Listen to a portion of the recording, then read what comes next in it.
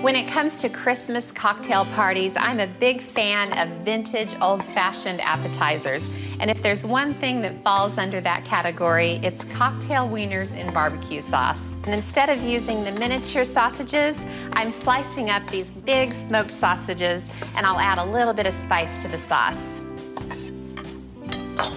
So I'll put all of the sausage into a pan. Now the sauce is as simple as cracking open a bottle of your favorite barbecue sauce and just pour it in all over the sausages.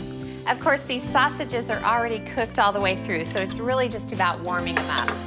Now I'm gonna turn on the heat to start to warm these. And then to give them a little bit of spice, I'll add some hot sauce, just a few dashes. And then one way I'm gonna change them up a little bit is just to add several slices of jarred jalapenos. I don't want to do too much. I don't want them to totally overwhelm things, but I think they'll be really nice in there.